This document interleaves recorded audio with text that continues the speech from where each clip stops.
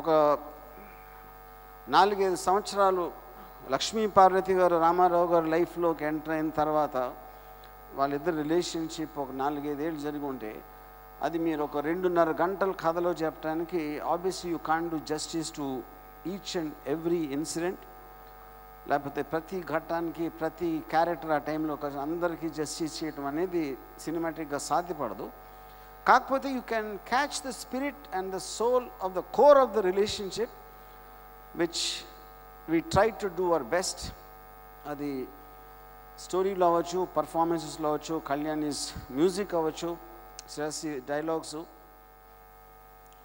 and the person directed along with me Agastya Manju and all of us and the whole team work really hard ఒక particular time పీరియడ్లో జరిగింది ఇది. మనం చూసిన ఇప్పుడు మనం ఆ టైంలో ఉండి ఆ ఘట్టాలన్నీ బిహైండ్ ద సీన్స్ చూస్తే ఎలా ఉంటుందని చేయడానికి ట్రై చేసాం. And I think it's a very very special film for me in my career sure that's about the film so obviously ఆ టైంలో ఉన్న పాత్రికేయులు అవ్వచ్చు లేకపోతే ఈ సంఘటనలు ఫాలో అయిన ఈవెన్ యూత్ అవ్వచ్చు. మీకేమైనా క్వశ్చన్స్ ఉంటే if you ask me I will I would like to answer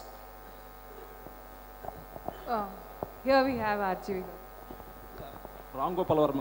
నేను రెగ్యులర్గా మీ సినిమాలన్నీ వాచ్ చేస్తుంటా నేను రెగ్యులర్ మీ ఫ్యాన్ దీంట్లో నాకు తెలియాల్సింది ఏంటంటే ఆంధ్రప్రదేశ్ పేష్ ప్రజల మొత్తానికి ముఖ్యమైన అభిమాన నాయకుడు నందమూరి తారక రామారావు గారు అలాంటి నందమూరి తారక రామారావు గారి బయోగ్రఫీ మీద ఇటీవల వచ్చిన ఏది కథానాయకుడు కానీ మహానాయకుడు కానీ రాని క్రేజీ మన లక్ష్మీ ఎన్టీఆర్ మీద వ్యూస్ కానీ ప్రేక్షకులు కానీ బాగా ఇంట్రెస్ట్ పెరిగింది దీనికి కారణం మీలో ఉన్న డైరెక్టర్ టాలెంట్ అంటారా? లేకపోతే జనాలు ప్రేక్షకుల్లో పాజిటివ్ థింకింగ్ విషయాల కంటే నెగిటివ్ అంటే ఒక మనిషి జీవితంలో మంచి విషయాల కంటే అతని జీవితంలో జరిగిన చెడు సంఘటనల మీద పెరిగిన ఇంట్రెస్ట్ అంటారా?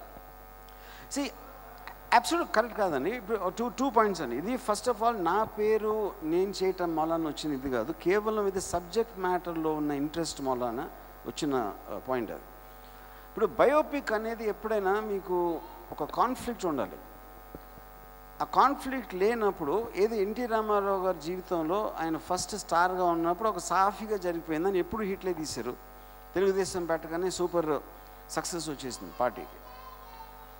చాలా విచిత్రమైన కానీ లేకపోతే ఊహించని సంఘటనలన్నీ ఆయనకి జరిగినాయి. లక్ష్మీ పార్వతి గారు ఆయన లైఫ్లో ఎంటరేగా అది ఆవిడ కాజ్ చేయలేదు.